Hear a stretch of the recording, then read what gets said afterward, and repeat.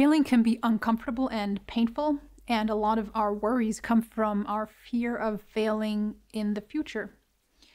At the same time, failing is unavoidable, and the way we process our failure has implications for our self esteem, our growth, our effort and motivation, our success at reaching our goals. So the question is not how can I avoid failure? The question is how can I become good at failing?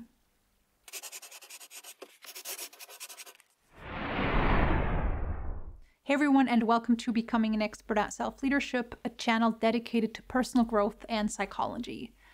I'm Maika, a psychologist, and here to share some ways you can adjust your perspective on failure so that it's more supportive of you and your life. It doesn't matter whether you have just experienced a setback or failure and you clicked on this video to get relief from that situation or find ways of coping with it. Or if everything's going pretty well for you at the moment, it's always helpful to reflect about our mindset and our beliefs and attitudes around failure because that will prepare you for the future. It'll help you heal wounds from failing in the past, and it'll quiet some of the worries that you have around failure at the present. Here are five ways to think about failure that are helpful and constructive. Number one, was it really a failure? If you've been following my channel for a while, you know that I like to question the way things seem. So this is also where I'd like to start here. To question if what you are experiencing as a failure is really a complete failure. Often we think of things in black or white, all or nothing terms. Either it was a failure or it was a success. And since it wasn't a complete success, it must be a complete failure. This is something that psychologists call a cognitive distortion for all of you out there who like fancy words. This is when we blur, change, distort reality, the picture that we have of reality in our mind and it's especially det- detrimental if we distort it in a way that's not helpful. It's like when we look through a window that is shattered and then conclude the world is now shattered and made up of tiny little pieces.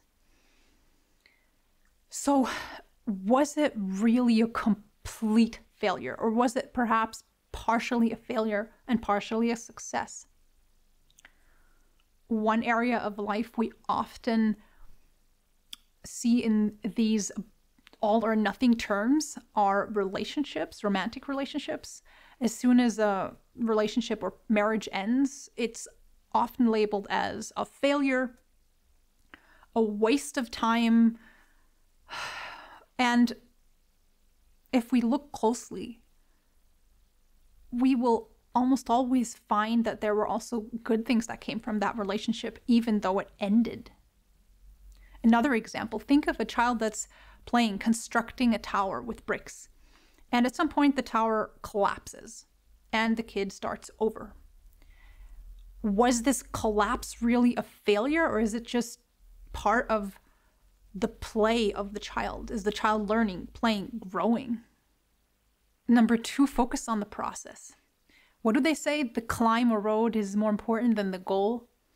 What's great about this perspective is that it focuses on the process and acknowledges that before we can get somewhere, we need to go through a process. And that process requires effort and failing and effort and failing and so on. If you're not failing, it means you're not learning and growing because you already knew how to get there. And what's crucial is to be able to stay motivated.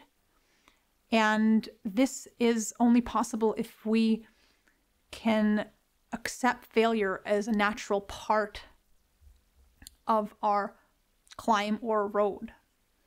To not see it as a sign that we should get give up, but to see it as a sign that we are on our path.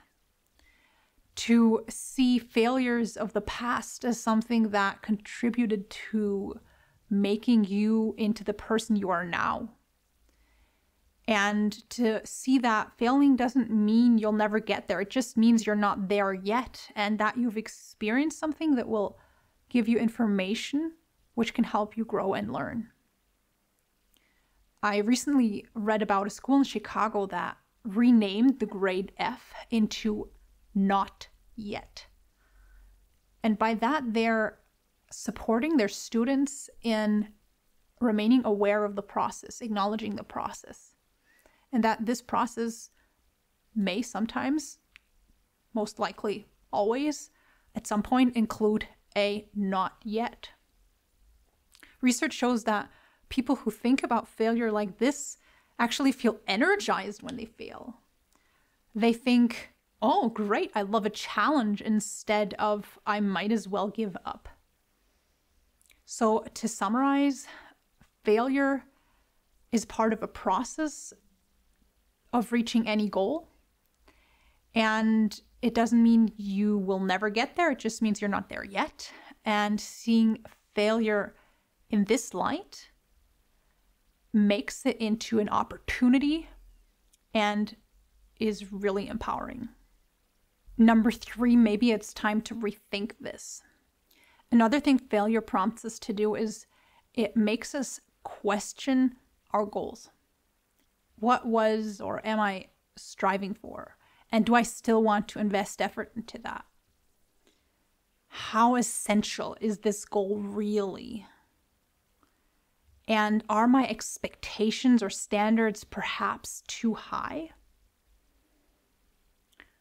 When we focus on goals that are out of our control, like the approval of another person, that is demotivating. And it's often a self defense mechanism, and it would be a lot better for us to work on the underlying issue of our broken sense of self worth than to continue aiming for that goal. It's not within your control if someone will approve of or even appreciate your work. So, for example, instead of aiming at getting your coworker or team lead to like your idea, you could aim for coming up with an idea that is a great solution to a problem. You can't control whether someone will like your idea, not 100%. But what you can control is how much effort you put into developing an idea that is a great solution. Number four, it's not a catastrophe. Some very rare setbacks and failures are catastrophes, but most of our failures and setbacks are not, even though we may think they are. This comes from another cognitive distortion, tunnel vision of being overly focused on this one failure and to step out of this tunnel vision, take a step back and look at everything that is going well despite of this or even including this failure. What are things that you're still good at even though you failed at this one behavior? What are things you can still continue doing even though this one thing went wrong? Often you will find that your life is pretty much the same and you can still do the same things you've been doing even though this one thing went wrong. Number five, failure shows courage. This is my favorite one, reminding yourself that failure shows courage. If you failed at something, it means you were brave. It means you put yourself out there. You stood up for something that is important to you. Instead of focusing on your worries and the things that you're dissatisfied with. You chose concrete action. The reason we don't reach our goals is not because we fail, but because we do not try. And you tried. That means you're on your way. A life of meaning, happiness, and contribution requires exactly this type of courage the courage to risk failing so that you can try something that is more important than avoiding failure. A full life requires this type of vulnerability. So you tried. Worse than failing is not trying, and you tried, so honor yourself for that.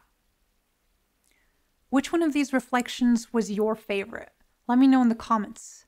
And please also give this video a thumbs up. That way you can support me in getting these types of messages to as many people as possible. Subscribe if you're new here and you want to be sure to receive more nuggets from psychology like this one in your feed. Till next time, take care and remember it's not the failure that is demotivating, but the way we interpret it.